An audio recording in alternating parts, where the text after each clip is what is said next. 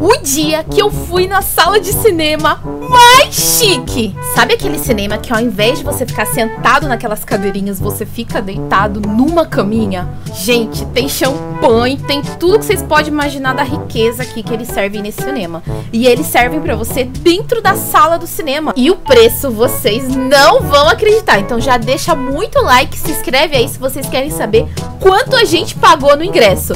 Gente, olha isso, isso aqui é só a sala de espera. Olha a naipezeira do moleque. Tá todo Nicolas Cagezinho. Olha só como é por dentro. É aquelas caminhas e cada caminha tem a sua mesinha toda chiquetosa para você comer sua pipoca, seu chocolate, beber sua champanhe. Olha que delícia poder assistir o filme deitadinho. Essa poltrona é tão confortável que eu acho que dá até para morar aqui dentro desse cinema. Comenta aqui se você ficou com vontade de ir nesse cinema e já marca o arroba que vai com você.